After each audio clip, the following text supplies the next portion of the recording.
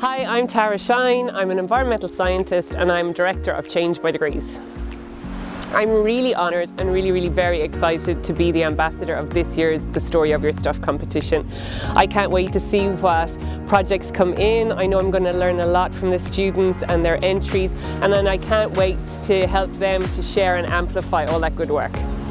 It's really important that students in secondary school engage with this competition and start to look at the impact they have on the environment for a number of reasons. One, because they're consumers already, and as they get older and become adults, they're going to consume more. And it's really important to know that every single decision you make about what you buy and what you don't buy is powerful. But students are also the voters of tomorrow, but they're also the influencers of today. So I think students shouldn't underestimate their power as an influencer within their own peer group.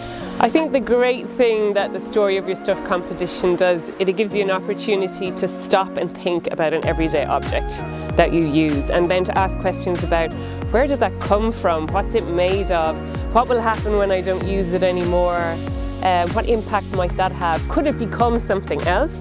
Um, and I think that's really useful because in the future, in a circular economy, and when we design things to have multiple lives, that way of thinking is really going to stand to young people. Everybody can do something to live more sustainably and to reduce their impact on the environment. The key thing is to make that first change, to take that first step. For me, each one of those degrees of change is then really important.